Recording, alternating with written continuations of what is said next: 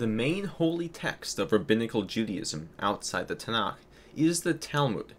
This book is believed to be on some level divinely inspired, supposedly encompassing the great and reliable memories of the ancient Jewish sages. However, this book, the Talmud, is filled with errors and anachronisms which calls into question the very reliability of rabbinical tradition. One problem is that the sages of the Talmud believed that Esther and Daniel had met one another.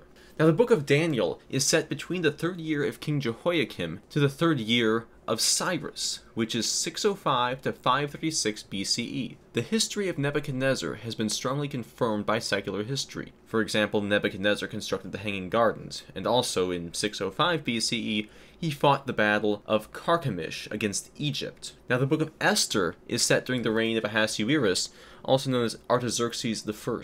Now, this man, this ruler, reigned between 485 and 464 BCE, and the Book of Esther is set at some point during that time.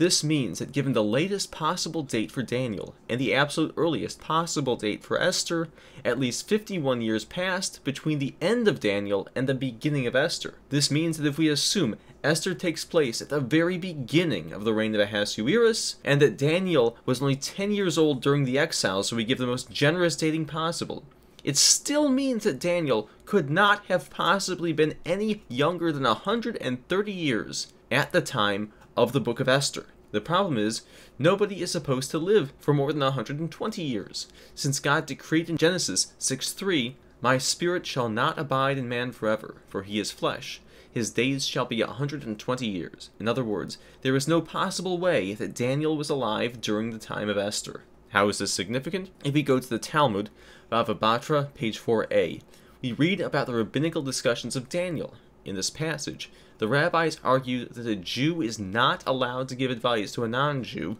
regarding how the latter, how the non Jew, can receive atonement. Rav Yehuda said in the name of Rav Yehoshua ben Levi, For what reason was Daniel punished? Because he gave advice to Nebuchadnezzar on how to escape the wrath of God. Now, the Talmud will try to explain the well accepted belief that Daniel was punished for advising King Nebuchadnezzar.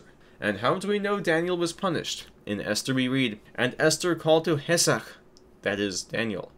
Daniel was named Hasach because he was cut down from his greatness. But what about those who say that all the affairs of the state were decided by him? Well, for them, Daniel was punished by being thrown into the den of lions. The rabbis agree here that Daniel was in fact punished, but disagree on how God punished him.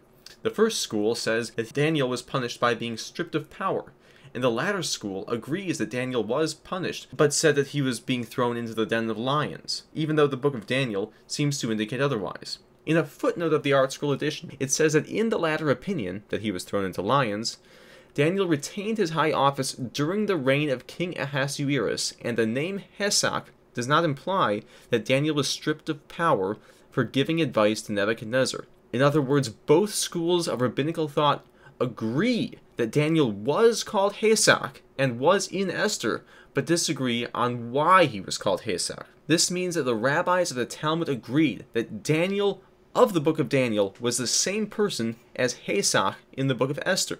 But of course, there is no way Daniel could be the same person as Hasach because he could not have lived that long.